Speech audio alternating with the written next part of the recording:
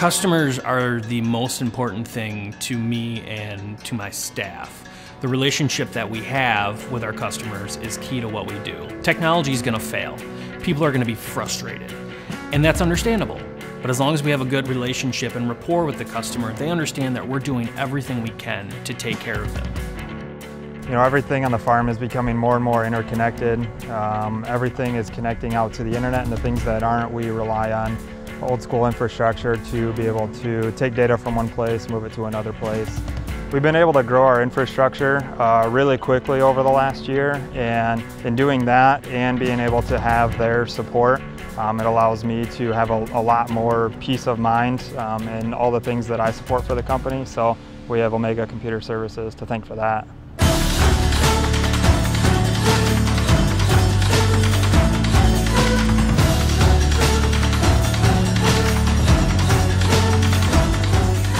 Is not really a high-tech field uh, in a lot of ways, but we're sort of catching up and trying to use technology as much as possible.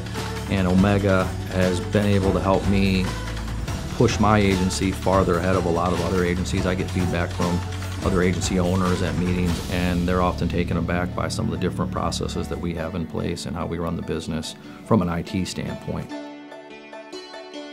We had gone through some growth uh, industry was picking back up. We had hired a lot of new people, and so we were facing challenges every day on how to service those people in such a broad region. We really focused on turning that around uh, and trying to get everything resolved in 24 or 48 hours. And so it's been huge uh, to get the confidence back with the team that their stuff's going to work, that their printers are going to work, their laptops will work, their cell phones, they're going to be able to connect to the networks. So it's really important to gain confidence with those teams again, and that's what Omega has really helped us with over the last couple of years.